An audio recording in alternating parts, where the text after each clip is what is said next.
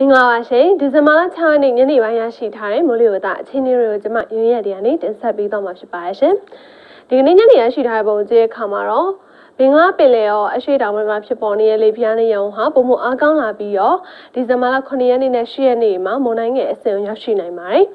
ဆက်လက်ပြီးတော့ဒီဇင်ဘာလ9ရက်နေ့နဲ့10ရက်နေ့မှာတော့အပူပိုင်းမုန်တိုင်းငယ်အဖြစ်ကိုရောက်ရှိနိုင်ပြီးတော့10ရက်နဲ့17ရက်နေ့မှာတော့ဆိုင်ကလုန်းမုန်တိုင်းအဖြစ်ကိုရောက်ရှိနိုင်တယ်လို့ခန့်မှန်းထားပါတယ်။အခုလေးလာချက်တွေအရအဲ့ဒီမုန်တိုင်းကမြန်မာနိုင်ငံနဲ့ဝေးရကိုဥတီဝေရှားနေပြီးတော့အိန္ဒိယနိုင်ငံတအရှိတောင်ပိုင်းကမ်းခြေကိုဖျက်ကျော်ဝင်ရောက်သွားမယ်လို့လည်းခန့်မှန်းထားပါတယ်။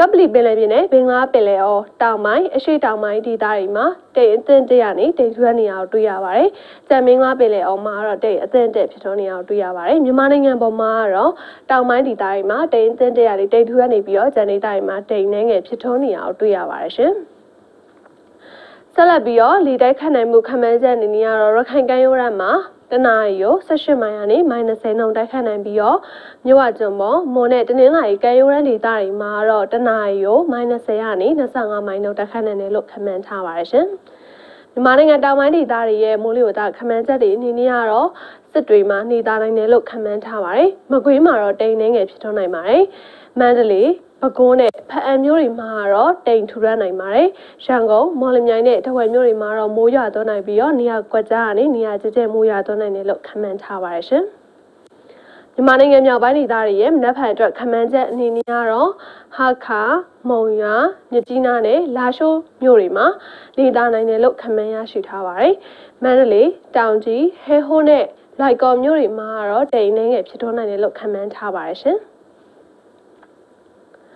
ဆက်လက်ပြီးမိုးရေချိန်ခန့်မှန်းချက်အနေနဲ့ကတော့မြန်မာနိုင်ငံတောင်ပိုင်းဒေသဖြစ်တဲ့တနင်္လာရီတိုင်းတောင်ပိုင်းဒေသမှာမိုးရေချိန်က40မီလီမီတာကနေ60မီလီမီတာလောက်ရွာသွန်းနိုင်တယ်လို့ခန့်မှန်းထားပါတယ်ရှင်။ညပူချိန်ခန့်မှန်းချက်အနေနဲ့ကတော့ကချင်ပြည်နယ်ချင်းပြည်နယ်ရှမ်းပြည်နယ်နဲ့ကယားပြည်နယ်ဒေသတွေမှာညပူချိန်တွေက9ဒီဂရီစင်တီဂရိတ်ကနေ14ဒီဂရီစင်တီဂရိတ်လောက်ရှိနိုင်ပြီးတော့ကျန်ဒေသတွေမှာတော့15ဒီဂရီစင်တီဂရိတ်ကနေ23ဒီဂရီစင်တီဂရိတ်လောက်မြင့်တက်နိုင်ပါတယ်ရှင်။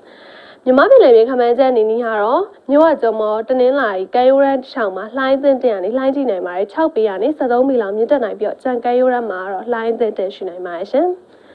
မန်လေးမြို့နယ်နီတွိုက်9ရက်စာခမန်းချက်အနေနဲ့ကတော့လာမယ့်9ရက်လုံးမှာမန်လေးမှာတိတ်အနေငယ်ဖြစ်ထွန်းနိုင်တယ်လို့ခမန်းထားပါတယ်ရှင်ရန်ကုန်မြို့နယ်ညီတို့ခမန်းချက်နေနေရတော့ဗုဒ္ဓဟူးနေ့နဲ့ကျသာပရိနေ့မှာမိုးရွာသွန်းနိုင်ပြီးတော့ကြံနေရက်တွေမှာတော့တိမ်နေငယ်ဖြစ်ထွန်းနိုင်တယ်လို့ခမန်းထားပါရရှင်။ နေပြောင်းတဲ့ညီတွက်ခမန်းချက်အနေနဲ့ကတော့ဗုဒ္ဓဦးနဲ့တောက်ကြနေမှာတိမ်နှင်းငယ်ဖြစ်ထွန်းနိုင်ပြီးတော့ကြံရက်တွေမှာတော့တိမ်ထူရနိုင်တယ်လို့ခမန်းထားပါတယ်ရှင်ဆက်လက်ပြီးတော့အာရှဒေသတွေမှာရှိတဲ့မြို့ကြီးတွေရဲ့မိုးလေဝသအခြေအနေတွေကိုတင်ဆက်ပေးသွားမှာဖြစ်ပါတယ်ရှင်ကျေးဇူးများတင်ပါတယ်ရှင်